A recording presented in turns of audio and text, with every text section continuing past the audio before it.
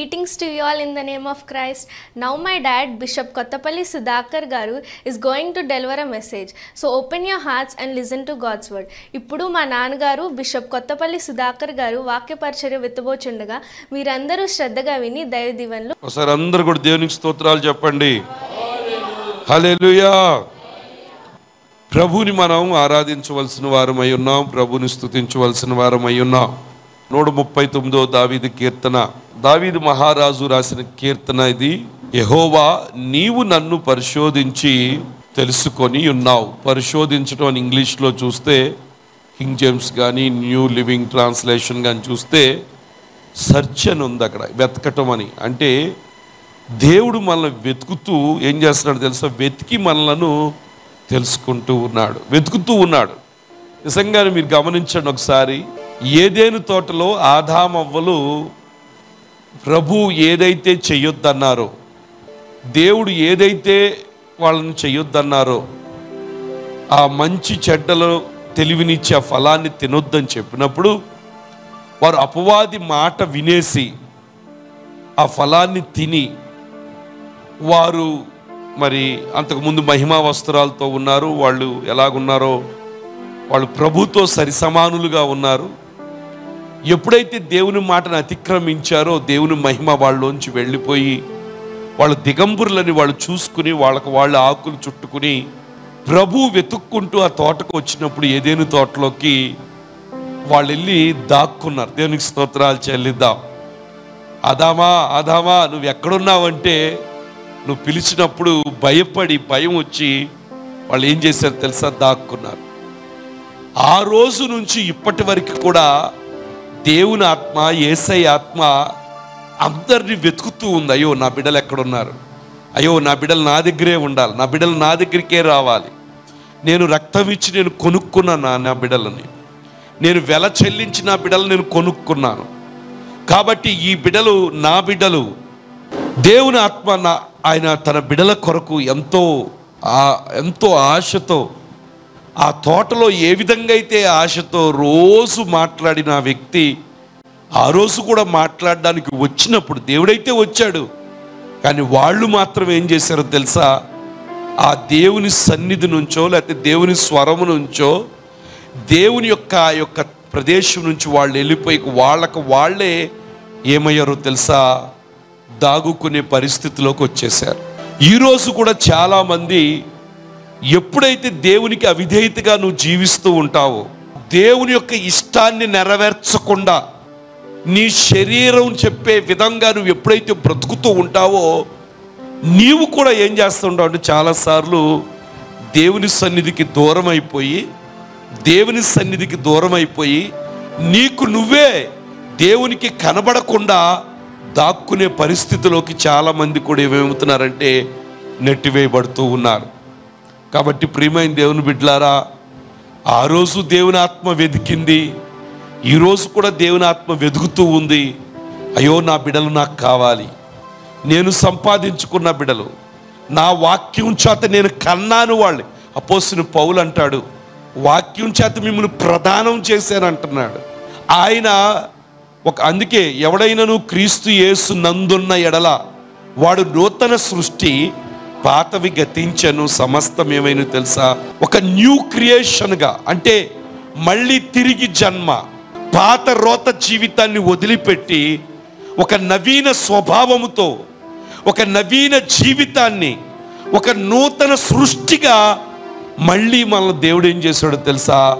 తయారు చేశాడు. ఎప్పుడైతే రక్షణ పొందామో ఎప్పుడైతే బాప్తీసం పొందామో ఎప్పుడైతే దేవుని మాటకు లోబడ్డామో ఎప్పుడైతే దేవునికి విధేయత చూపించామో అప్పుడు మనం ఏమైపోయామో తెలుసా?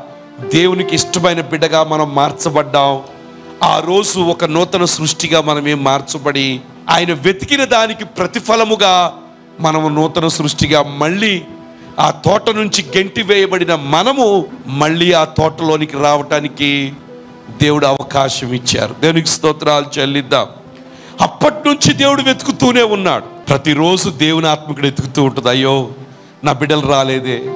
నేను మాట్లాడడానికి వచ్చానే నా స్వరం వినటానికి నా బిడ్డలు రాలేదే. ఆ రోజు ఏదేని తోటలో నా స్వరం వినకుండా వెళ్ళి దాక్కున్నారే.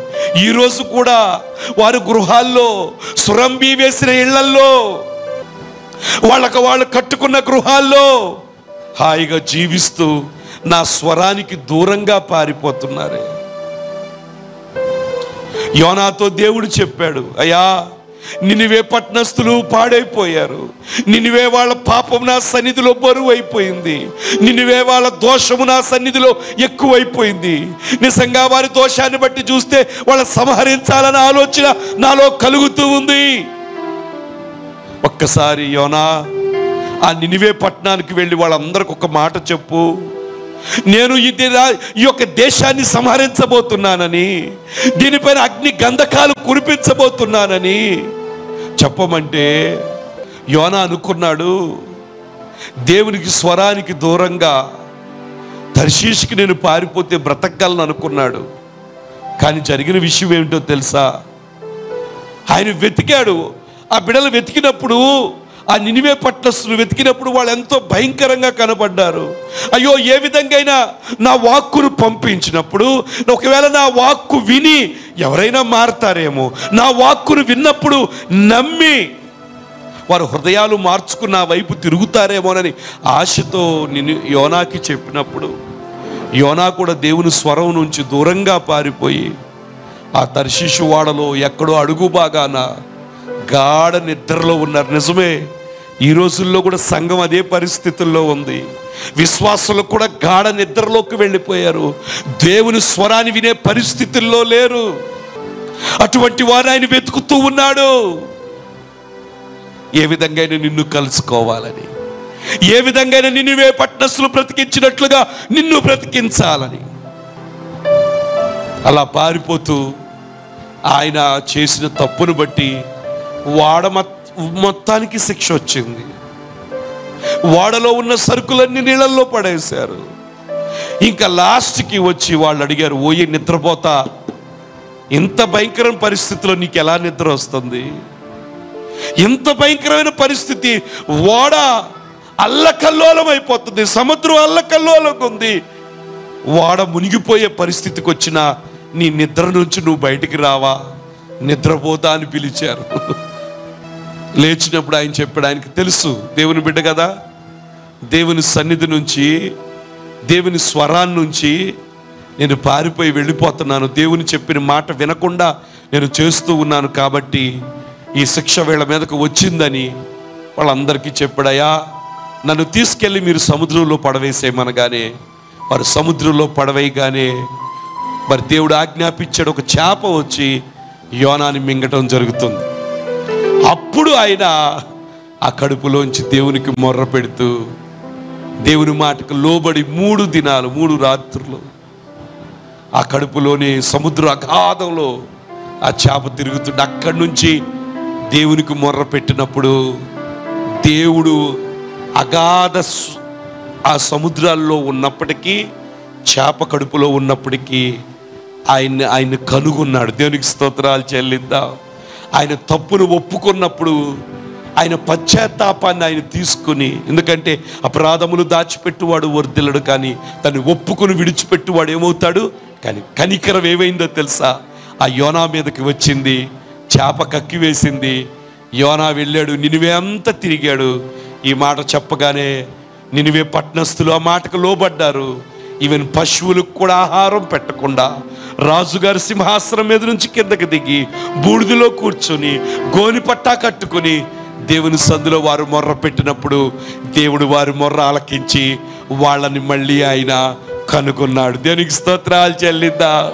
హలెలుయా హలెలుయా ప్రియమైన దేవుని బిడ్డలని ఇక్కడ దావీదంటున్నాడు నూట ముప్పై తొమ్మిదిలో యహోవా నీవు నన్ను పరిశోధించి తెలుసుకొని ఉన్నావు. నీవు వెతికి నన్ను తెలుసుకొని ఉన్నావు. యోనాను వెతికి ఆయన తెలుసుకున్నాడు. పారిపోయినప్పటికీ ఆయన ముర్ర పెట్టగానే దేవుడు కనికరం ఆయన మీదకి వచ్చి కడుపులో ఉన్న ఆయనను చేప కడుపులో ఉన్న ఆయన వెతికి తెలుసుకుని ఆయన ప్రార్థన అంగీకరించి నినివే పట్టణానికి పంపించాడు. నినివే పట్టణస్తులు పాపంలో ఉండి వాళ్ళు దేవుని సన్నిధిలో మోకరించి పశ్చాత్తాపడి ప్రార్థన చేసినప్పుడు దేవుడు వారి ప్రార్థనను వెతికి వారిని కనుగొని వారి యొక్క విపత్తులోంచి వారి యొక్క శాపములోంచి ఉగ్రత నుంచి వాళ్ళను బయటికి తీసుకొచ్చి వాళ్ళందరూ రక్షించినట్లుగా పరిశుద్ధ గ్రంథంలో రాయబడి ఉంది. ప్రియమైన దేవుని బిడ్డలారా ప్రభు నిన్ను వెతుకుతూ ఉన్నాడు. నీ పరిస్థితి అంతా ప్రభువుకు తెలుసు. వెతికిన దేవుడు ఖచ్చితంగా నిన్ను విడిపిస్తాడు. ఎందుకు వెతుకుతున్నాడో తెలుసా? నిన్ను విడిపించాలని. ఎందుకు వెతుకుతున్నాడో తెలుసా? ఏ విధంగా అయినా నిన్ను తెలుసుకొని నీ పరిస్థితులు మార్చాలని. ఈరోజు నేను ఒక చిన్న వీడియో చూశాను. ఒక ఆయన ఒక ముసలాయన ఎండలో నిలబడి ఆ మామిడి పళ్ళు అమ్ముతూ ఉంటే అట్నుంచి కారులో వెళుతున్న ఆయన చూసి అయ్యో ఇంత కష్టపడుతున్నాడు ఈయనకి ఏదైనా నేను సహాయం చేయాలని ఒక్క మామిడి పండును పదివేల రూపాయలు కొని ఆయనకి ఆశీర్వదించాడు. దేవునికి స్తోత్రాలు చెల్లిద్దా. హలెలుయా ఏదో చెయ్యాలని.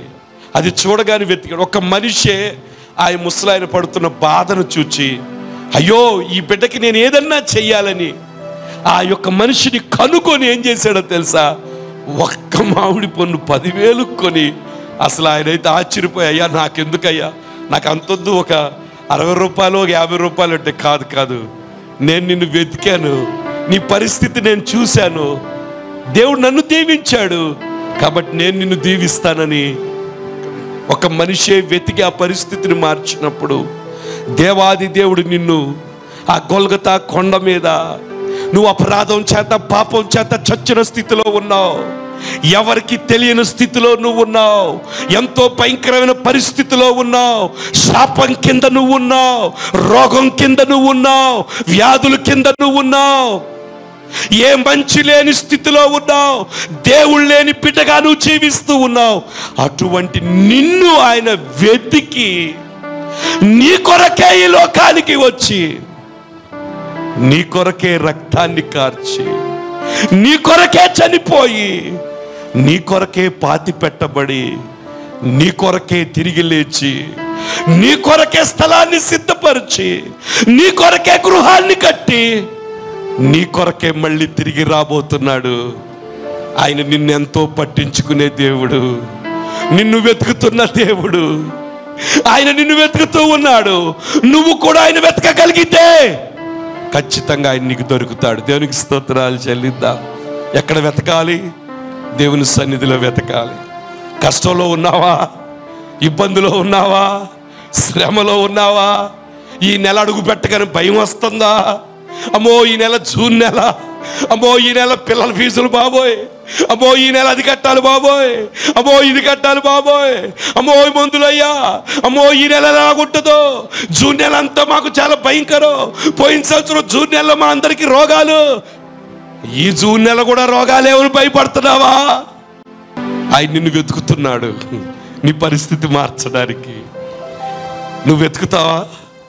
ప్రభు సన్నిధిలో కూర్చుంటావా? అయ్యా అయ్యా సహాయం చేయి. నేను ఒక మాట చెప్తున్నానండి. ఈరోజు ఎటువంటి పరిస్థితి గుండా నువ్వు వెళుతున్నావు నాకు తెలియదు ఏ సమస్య గుండా నువ్వు వెళుతున్నావు నాకు తెలియదు హృదయంలో ఎంత భయంకరమైన బాధ ఉందో నాకు తెలియదు కానీ ఒక సత్యం ఏంటంటే ప్రభు నిన్ను వెతుకుతున్నాడు. నీ పరిస్థితి మార్చాలని. నువ్వు చేయవలసిన పని ఏంటంటే నువ్వు కూడా ఆయన వెతికితే ఆయన నీకు దొరుకుతాడు.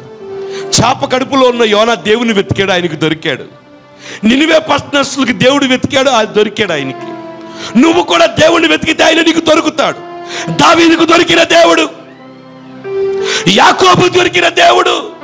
అబ్రహాము దొరికిన దేవుడు.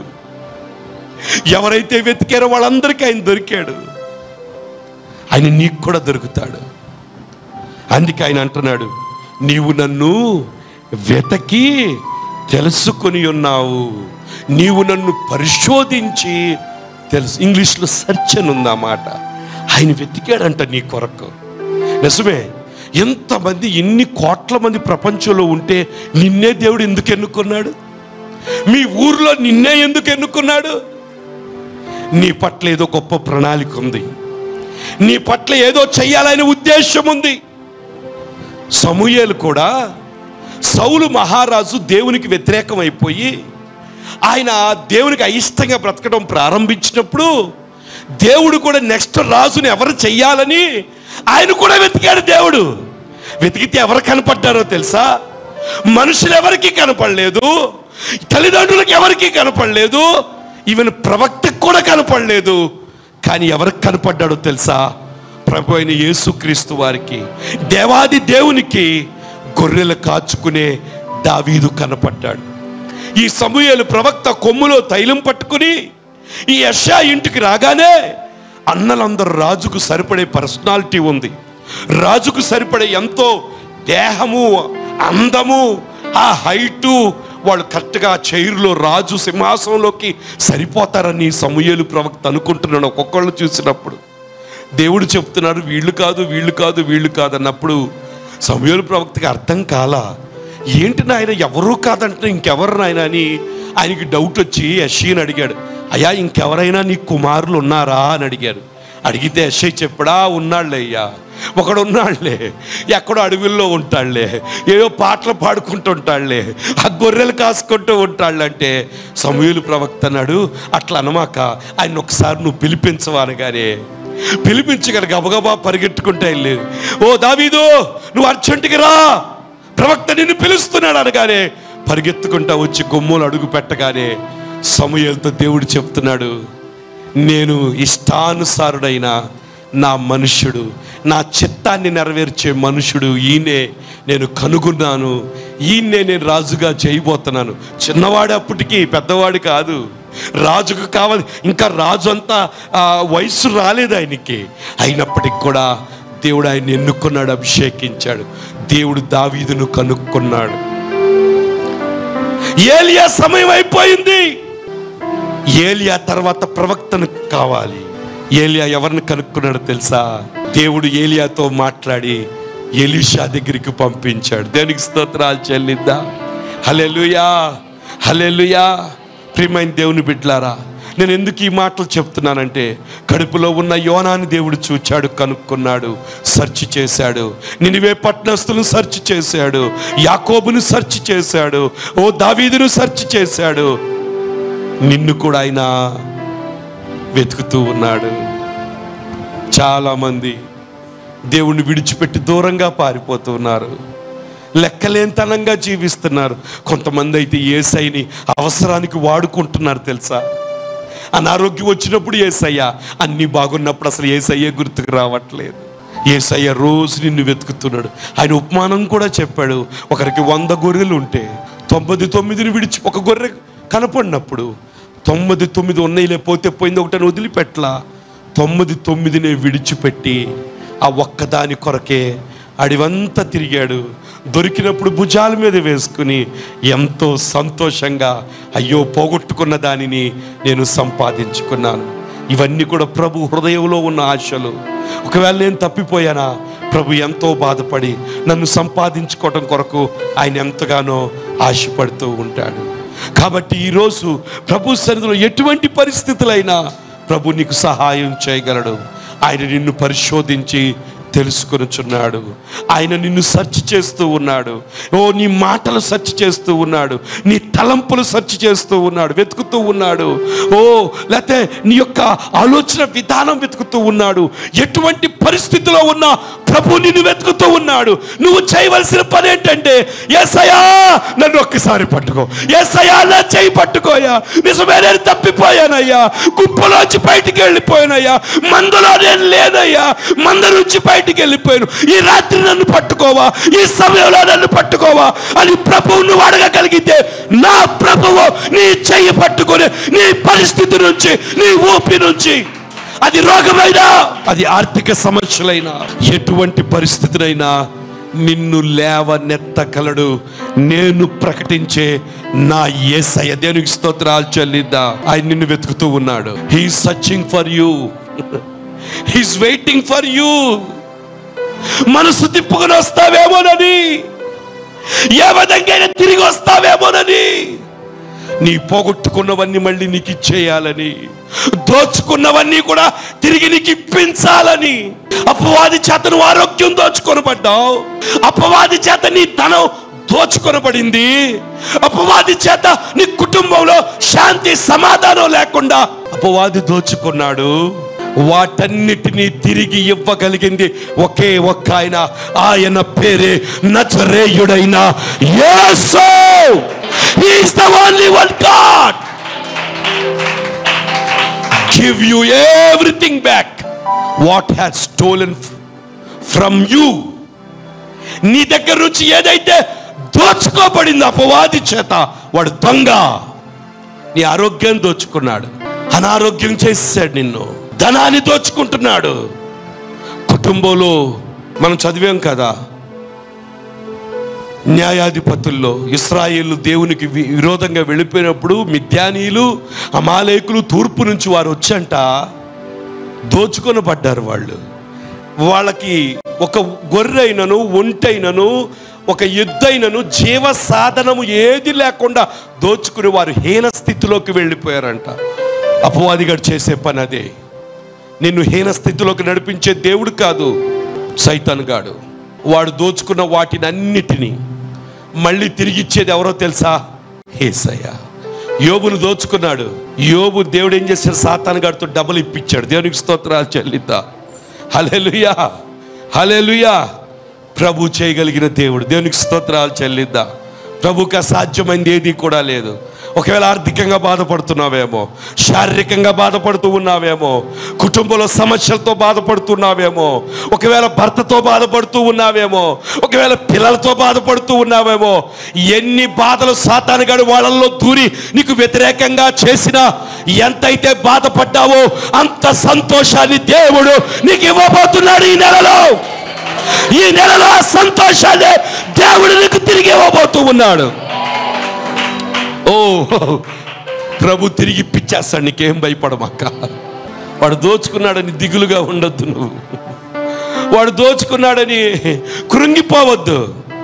ఎందుకో తెలుసా? మన పక్షాన ఉన్న ఆయన అధికులు నీలో ఉన్నవాడు లోకంలో దోచుకునేవాడి కంటే గొప్పవాడు. నువ్వు ఎవరు బిడ్డవో తెలుసా? నీ కొరకు ఎవరు ఎతుకుతున్నారో తెలుసా? సాతానుగాడు కూడా ఎతుకుతున్నాడు అంతకన్నా శక్తి కలిగిన దేవుడు నిన్ను వెతుకుతూ ఉన్నాడు. ఆ వెతికే దేవుడికి నువ్వు దొరికావా? నీ పరిస్థితి మారిపోద్ది. రక్షణ పొందావంటే నువ్వు దొరికావే. రక్షణ పొందిన తర్వాత నువ్వు ప్రార్థన చేయకుండా వెళ్ళిపోయావా? మళ్ళీ అపవాదిగాడు ఒకసారి అంట దెయ్యం విడిచిపెట్టి వెళ్ళిపోయిన తర్వాత నేను వదిలేసిన పార్టీ ఎలాగుందో నేను వదిలేసిన విశ్వాసి నేను వదిలేసినోడు ఎలాగున్నాడని తిరిగి వచ్చి చూస్తాడంట. ఆ ఇల్లు చక్కగా సదిరిపెట్టుంది కానీ ఏమి ప్రార్థన లేదు వాక్యం లేదు ఏమీ లేదు. ఖాళీగా ఉండడం వల్ల వాడితో పాటు ఏడు దెయ్యాలు తీసుకొచ్చి పెట్టి మొదటి స్థితి కన్నా ఇప్పుడు స్థితి భయంకరంగా చేసేస్తాడంట. కాబట్టి నువ్వు ఎలాగ ఉండాలో తెలుసు? ఫుల్గా ఉండాలి. దేవుని ద్రాక్షరసంతో నింపబడి ఉండాలి. దేవుని వాక్యం చేతను నింపబడి ఉండాలి. దేవుని వాక్యాన్ని వింటూ ఉండాలి. పొద్దున్నెల్లకైనా దేవుని వాక్యాన్ని చదువుకోవాలి. ఒక మాట వినబడి నన్ను బలపరచువారి ఎందు నేను సమస్తము ప్రార్థించే కృప దేవుడు నాకు ఇచ్చాడు. ఓ దేవునికి స్తోత్రాలు చెల్లిద్దా? ఈ నోరు ప్రార్థించడానికి ఈ చేతులు రోగుల మీద చేతులు పెట్టడానికి ఈ కాళ్ళు సువార్త ప్రకటించడానికి ప్రభు శరీరము ఈ అవయవాలన్నీ కూడా ఏ కొరకు ఉపయోగించడానికి. ఈ శరీరాన్ని ఉపయోగించుకుని అనేకుల్ని పరిశోధించి దేవుడు పట్టుకుంటూ ఉన్నాడు. అల్లెలుయా ఏదైనా తోటలో ఏ విధంగా వాళ్ళని కనుక్కోవడానికి వచ్చాడో? వాళ్ళని ఎత్తుక్కోవడానికి వచ్చారు. వారు సర్చ్ చేయడానికి ప్రభు వచ్చాడు. అలాగే ఈరోజు కూడా నీ కుటుంబానికి ఓ నీ బిడలను ఆయన నీ వ్యాపారాలు నీ ఉద్యోగాలు అన్నిటి కూడా ఆయన సెర్చ్ చేస్తూ ఉన్నాడు. నువ్వు ఆయనకి మంచిగా కనపడ్డావా? నీ జీవితాన్ని అనేకుల ముందు ఆశీర్వాదకరంగా దేవుడు చేస్తాడు.